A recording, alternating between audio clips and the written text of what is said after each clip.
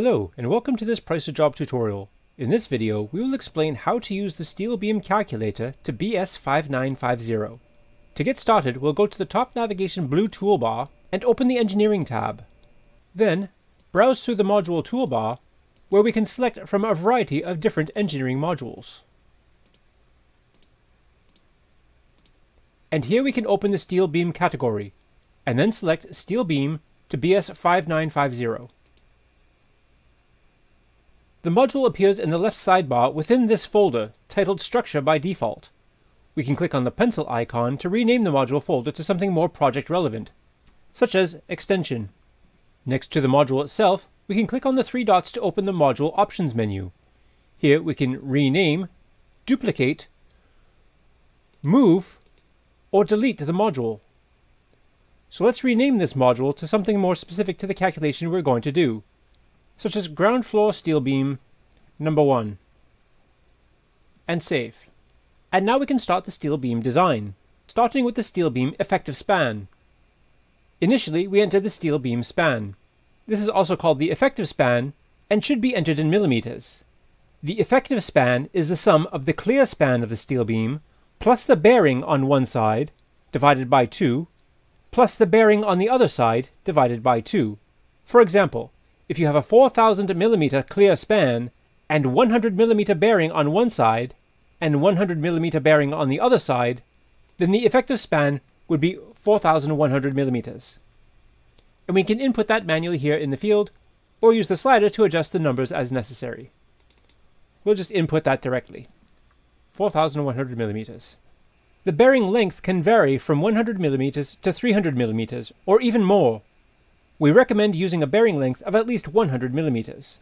If we click this selection on the left-hand side, we can add a cantilever on the left. If we click a selection on the right-hand side, we can add a cantilever to the right. Next is the utilization limit, and we'll discuss this in further detail a little bit later in the video, but basically, this is the percentage of utilization factor which indicates a status of pass or fail. Generally, we recommend the utilization limit to be set to 99%, but again, we will discuss this in greater detail shortly. Next, we'll click on the Options button to input our safety factors and deflection limits. For British standards, we use 1.4 for dead loadings, also known as the permanent load, and 1.6 for live loadings, also known as the variable load. But what are the safety factors? Well, before explaining the safety factors, we have to distinguish two different states. The ultimate limit state, or ULS, which represents the situation in which the beam is offering the maximum capacity so that the beam doesn't fail and the structure doesn't collapse. This state is related to the safety of the structure. The second state is serviceability limit state, or SLS, which represents the situation in which the beam is under normal circulation loadings during the lifetime of the building. In this state, we check the deflections of the steel beam, and we want to check that the deflections are within the acceptable limits. So what does all this have to do with safety factors? Well, the safety factors are used in the ULS, not in SLS. In other terms, it is the limit state which is related to safety that we use the safety factors. The calculator multiplies all dead loads by 1.4 and all live loads by 1.6. The safety factors for the SLS are all set to unity, which is a factor of 1. This is automatically done by the calculator. Next we'll look at the restraint. In this selection, we have to identify how the flanges are restrained at both ends. We have end A and end B. We would recommend using the following option. Both flanges only supported with no positive connections. This is the most conservative. If you need additional information related to this type of restraint, you can have a look at publication SCI P360. Next we consider if loads are destabilizing or not. We have an example for this here. If the loading is applied to the centroid of the steel beam or below the centroid, then the loading is not destabilizing. More specifically, if the loading is applied to the bottom of the steel beam below the centroid, then the loading is stabilizing, like in this example. However, if the loading is applied at a level above the centroid of the steel beam section, then the loading is considered as destabilizing. In general, most of the loadings are usually applied above the centroid, and thus it is always prudent to check this box. Loads are destabilizing. Next we'll look at the deflection limits. So what are the acceptable deflection limits? For dead loadings plus live loadings, we use the length or span divided by 250. For live loadings, we use the length or effective span divided by 360. When we have cantilevers, we usually use live plus dead loadings combined with length divided by 180. Some engineers and councils across the country are conservative and recommend span divided by 360 for live and dead loadings combined. When we have brittle elements such as bifolding doors, the steel beam above the bifolding door should be designed for a span divided by 500 deflection limit.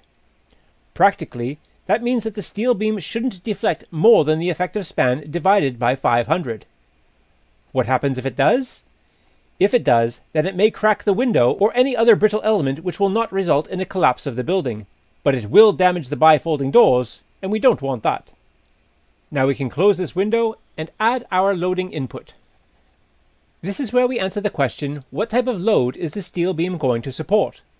If we want the self-weight of the steel beam to be included in the calculations, then we click this box. To start adding our loads, we'll click the plus add new load button. And here we see there are five different types of loadings. A point load, a uniformly distributed load, a partial uniformly distributed load, a trapezoidal load, or a point moment. A point load is a concentrated loading onto the beam. This can be the reaction of another steel beam or a steel post that is supported off the steel beam that we are designing. Or it can be the stair trimmer beams that are supported off the steel beam that we are designing. Uniformly distributed load is a load that is uniformly distributed across the beam. Floor joists or roof loading or wall loading can be in this category. Partial uniformly distributed load is a load that is uniformly distributed across a part of the beam. Floor joist loading, or roof loading, or wall loading distributed across part of the beam can be in this category. Trapezoidal loading is a loading that has a trapezoidal shape. This could be a gable wall, for instance. And a point moment is a concentrated moment onto the beam. This could be the reaction of a steel post that is rigidly connected to the steel beam that we are designing. Here, we can input the dead loading. This is also called the permanent loading. These are the loadings that remain the same and are applied constantly in a building, such as cavity walls, the floor joists, and the roof joists. Here you can input the live loading. This is also called the imposed loading. These are the loadings that can change, such as people or partition walls. Within the price job calculator, you can input a loading manually, or you can use the calculator's templates from the system list. For example, let's assume that we have floor joists supported off our steel beam. In this case, if we want to input this manually, we would click the plus add new load button. Then for the title, we would call this timber floor joists. Then for the load type, we would select UDL for a uniformly distributed load, and then manually input the dead and live loading. For instance, 1.2 kilonewtons per meter and 3 kilonewtons per meter. Also, Price A Job makes it even easier by allowing you to access a library of templates by clicking the pencil icon to open the loading editor, and then selecting the template button. Here we can browse through the categories including roof coverings, boarding, insulation, timber, finishes, masonry, concrete, and imposed loads such as furniture and snow. So for example, let's take a look at the boarding category, and then select the material we wish to add. In this case, we'll choose some 18mm plywood. By clicking on this, it's instantly added to our load calculator, where the load presets are automatically added for us. If you wish to add extra rows, you can do so by clicking the plus add row button, and give your material a name, and input the values here. We'll say that this plywood is 0.14 kilonewtons per square meter. If you need to delete any of these rows, you can do so by clicking the bin icon here on the right hand column. and you can change these values manually, either for one-time use or create your own custom template. For this example, let's change the plywood boarding to 0.18 kilonewtons per square meter. And we'll also add some insulation with a dead load of 0.02. And then we'll add a row to add some joists to our loading with a dead loading value of 0.18 kilonewtons per square meter. And then we might add some plasterboard and skim with a value of 0.2. An imposed load of mixed use with a live load of 2.5 kilonewtons per square meter. And as an imposed load, we would add this to the live loadings column. If we expect to use these same values again in the future, we may want to save this as a new template. We can do that by clicking the template drop-down arrow, and then scroll to the very bottom where we can see our custom list, and then we can click on the option to save template. Let's give our custom template a custom name for easy identification. We'll just say ground floor mixed use timber joists and then save. And now when we return to the templates drop-down menu, we can scroll to the bottom to our custom list and see all of our saved templates under our custom list to recall instantly whenever we need them.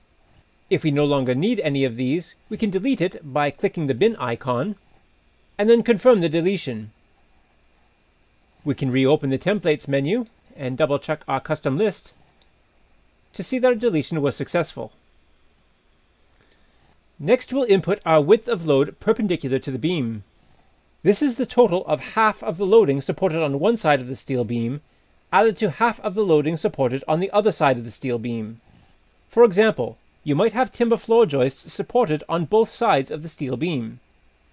If the timber floor joists span 2000 mm on one side of the steel beam, and on the other side, the timber floor joists span 2000 mm, and half of the loading on one side and half of the loading on the other side is supported off the steel beam. This would be 2000 mm divided by 2 on one side, and 2000 mm divided by 2 on the other side which gives us a width of loading perpendicular to the steel beam of 2000 millimeters. So we would input that here, and then we could close the loading editor window.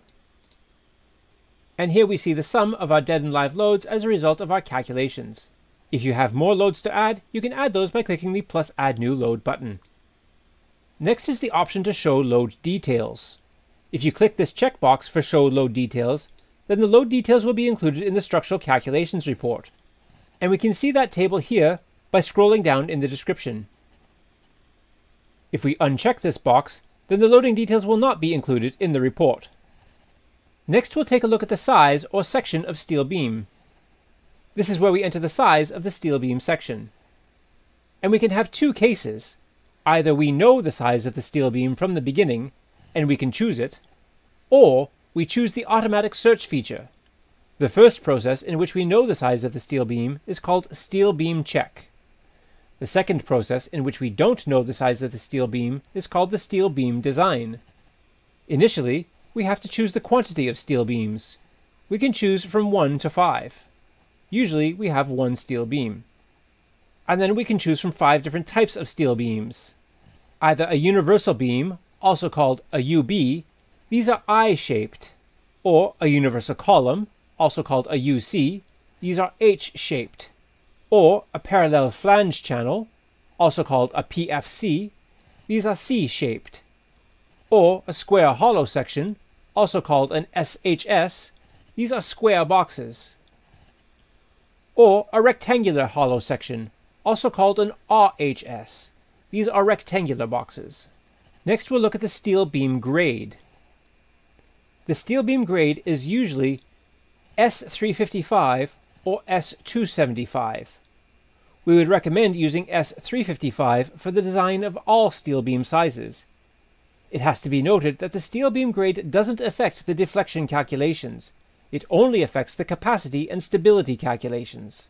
Thus, sometimes S275 is issued for RHS or SHS because it is the deflection check that governs their design. Next we'll take a look at the steel beam restraint. This is related to the lateral torsional buckling check, which we see here in the summary results. It refers to whether the top compression flange of the steel beam is restrained against movement or rotation. The RHS and SHS steel sections do not suffer from lateral torsional buckling mode of failure, and hence it doesn't matter whether they are restrained or not. Hence, it refers only to the other three types of steel beam sections, like universal beams, universal columns, or parallel flange channels. If we click the options available, we can choose from either unrestrained or fully restrained. Now, is the beam fully restrained or not? The answer is almost always not. The only way to have a steel beam fully restrained is if it meets the requirements in the SCI publication P360. For instance, this happens when you have a beam cast into a concrete floor. Now let's take a look at the description pane to review the results. First, we'll talk about the utilization factor. This factor indicates how hard the steel beam is working. If this factor is low, for example 25 to 50%, then the steel beam is working really well and there's almost double spare capacity. What is double spare capacity? It means that if this was the greatest utilization factor, then you could possibly double the loading in this situation and still use the same beam section. On the other hand, if the utilization is much higher, and we've set our utilization limit for 99%, then so long as this factor is at least 99% or lower, then it means that this steel beam would just pass the structural checks. And this is indicated under the status column as either pass or fail. So the utilization limit is a very useful tool. If you're not familiar with this input, then we would recommend setting it to 99%. The calculator takes the greatest amount of these factors from each of these checks. Currently, we have the auto search function optimizing our section size for us. So let's deselect this so we can see what happens when we reduce the utilization limit.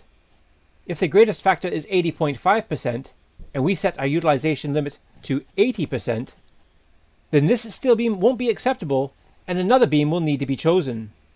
And this is because we set the utilization limit to 80 instead of 99%.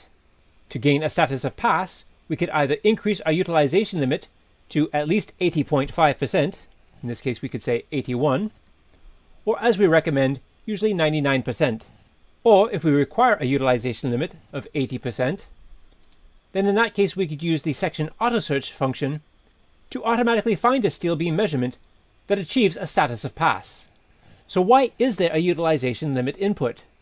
Some engineers use this utilization limit to undertake a more conservative design or they may want to have spare capacity in the steel beams so they can have an extra margin of safety. By reducing the steel beam utilization limit, you always end up with a more conservative design. And again, we would recommend leaving this set at 99%. By scrolling down, you can see the results in greater detail. And we'll build a steel beam design example in a different video. But that's how to use the steel beam calculator to BS5950.